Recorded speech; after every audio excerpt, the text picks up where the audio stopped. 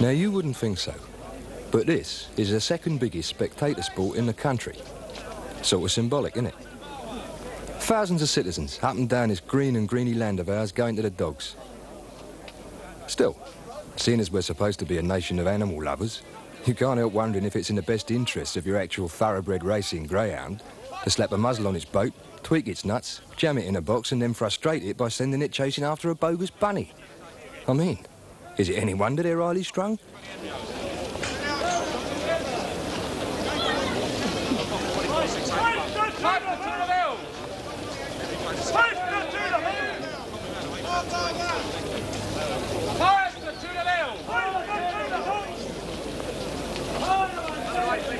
According to Cousin Tel, the whisper was that even if this dog stopped at the last bend to water the railings, it would still win by ten lengths.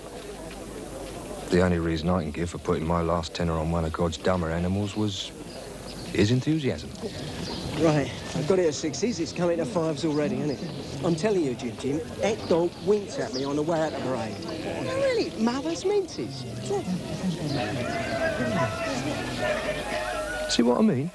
Well, when one of your own swears on his mother's eyesight that the information he's got has been confirmed by the hand itself, well, hope springs eternal, doesn't it?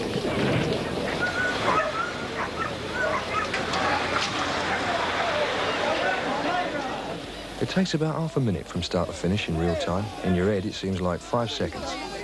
And that meant me losing two quid a second when the winking pig I backed came stone last. Well, I hope your mum has better luck with a guide dog she's going to get.